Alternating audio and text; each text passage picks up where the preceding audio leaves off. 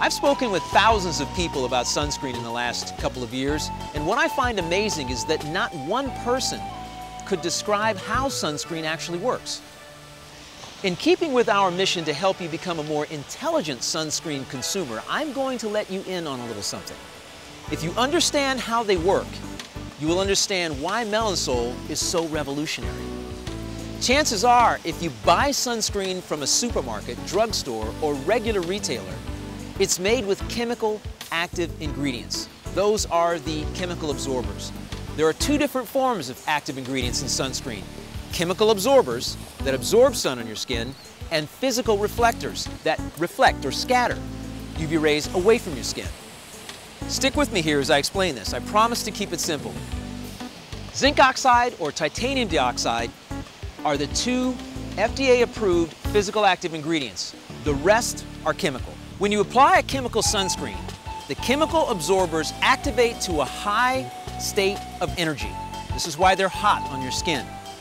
It can take 20 to 30 minutes to reach the peak energy level necessary to absorb the proper amount of UV rays, which is why applying them before you go into the sun is a great idea. If you apply them while in the sun, you leave yourself totally unprotected for the length of time that it takes for them to activate. For some people, that 20 to 30 minutes is all it takes to experience a serious sunburn during the heat of the day. Chemical sunscreens usually absorb for about two hours, although there are new formulations that can last as long as three to four hours before they decay. If you're using a sunscreen with chemical absorbers, for obvious reasons, it's important to reapply to keep the absorption process going. This can be a challenge when you're trying to enjoy yourself in the great outdoors.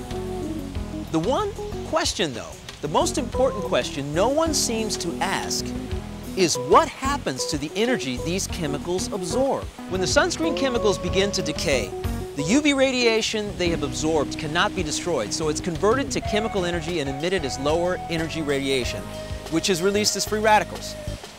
This answer reveals how chemical active ingredients in sunscreen can contribute to skin damage like leathery and sagging skin and two popular forms of skin cancer.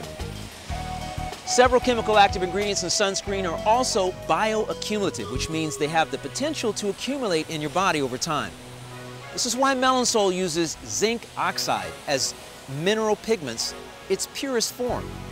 It can be applied anywhere at any time because it begins to reflect UV rays the moment it's applied.